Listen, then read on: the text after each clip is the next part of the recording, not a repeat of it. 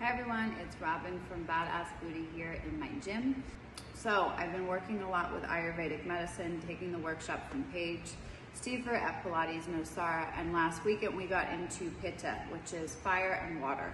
Um, and obviously I'm very dominant in fire. So we learned about different ways to bring fire elements into your classes. So what I'm working on for you this week is a cardio warm up with a lot of pitta, fire, to get your heart rate up, to get you sweating, and get your body feeling nice and hot.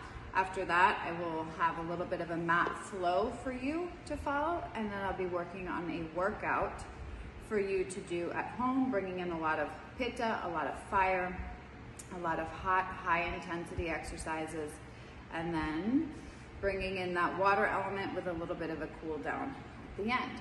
So I hope you enjoy it. Have an awesome week, and I will see you soon. Ciao for now.